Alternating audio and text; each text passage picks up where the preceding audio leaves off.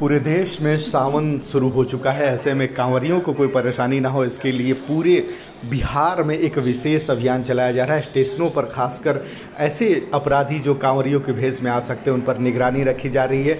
Patna junction को लेकर के क्या तस्वीरें आई हैं, आप यहाँ स्क्रीन पर देख सकते हैं और क्या कहा कुछ वहाँ के अधिकारियों ने, आइए सुनते हैं। हाँ जैसे सावन के महीने में एक तो भीड़ रहती है ट्रेन में। दूसरा सुरक्षा व्यवस्था। नशाखुरानी कैसे बचने के उपाय जो साइबर अपराध से बचने के उपाय मोबाइल मोबाइल चोरी न हो। इसके लेकर यहाँ जो चौबीस घंटे कार्यरत यह जो रेल पुलिस पुलिस नियंत्रण कक्ष है, इस साइड में और करबिगिया साइड पे वो लगातार कार्यरत रहेगा, जो यात्रियों को इसमें किसी भी प्रकार का शिकायत को हैंडल किया जाएगा और उसके अलावा उनको सहायता प्रदान की जाएगी और विशेष ट्रेन में जो चल रही है, उसमें भी मार्गदर्शन दिया जा रहा है और लगभग 1400 बल की प्रतिनियुक्ति की जा रही है, आरपीएफ और जीआरपी की मदद से और हम लोग स्थानीय जिला पुलिस से भी बल की प्रतिनियुक्ति की जा रही है।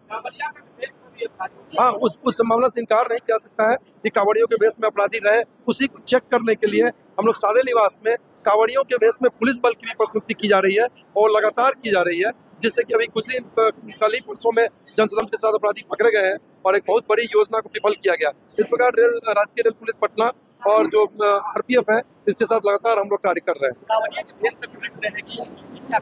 हाँ कावड़ियों के भेष में भी रहेगी प्लस सादे लिबास में भी रहेंगे ताकि हम लोग उन तरह के जो अपराधी हैं जो कि इस मौके का फ़ायदा उठाना चाहते हैं उसको हम लोग उसको ध्वस्त कर सकें।